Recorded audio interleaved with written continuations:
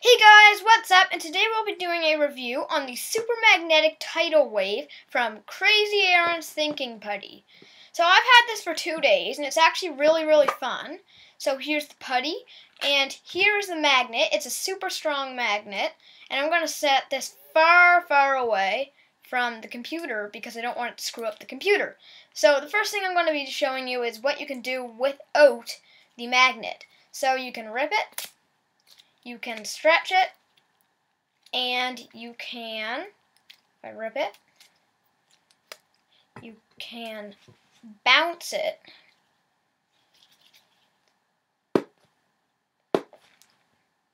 Bounce is really good. So, um, yeah, if I, now I'll show you the things you can do with the super strong magnet, Ceramatic. It originally came with some neodymium magnets, but look how, look how strong this is. If I put this right here, look, it's really strong. Um, so I'm going to show you the snake charmer trick. Snake charmer trick works really good. Set the magnet and let me get shaping. There we go. Snake charmer trick.